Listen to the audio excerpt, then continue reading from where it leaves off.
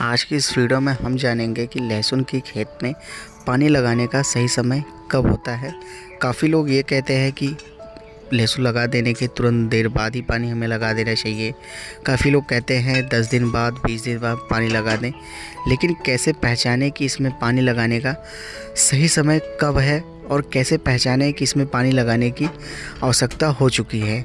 तो एक एक चीज़ मैं आप लोगों को इस वीडियो में बता दूँगा। तो चलिए जानते हैं कैसे।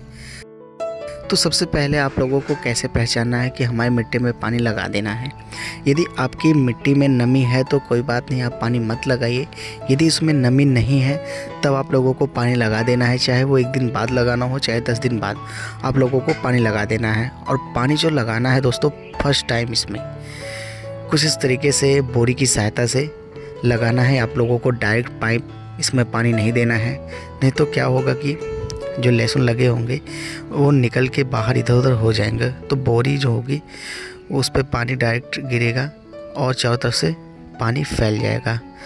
इस तरीके से लहसुन नहीं उखड़ेगा। तो आप लोगों को यही ध्यान देना है, यदि पहली बार पानी लगाते हैं पाइप की सहायता से तो ज़रूर आप लोग जहाँ पर पानी गिरता है, वहाँ पर किसी पन्नी या किसी बोरी की सहायता बिछा दें, जिससे कि पानी उस पर गिरता रहे और चारों तरफ़ से अच्छी तरीके से पानी फैल जाए।